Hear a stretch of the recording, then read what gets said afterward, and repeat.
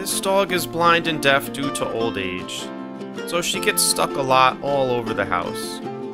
It's so cute, but kinda sad too. Old age is coming for all of us eventually. Her owner chose her over a car when she was 16, and they've been super attached ever since. She has no regrets choosing her, and they've grown together. It's hard watching your dog grow old, which is why every moment matters so much.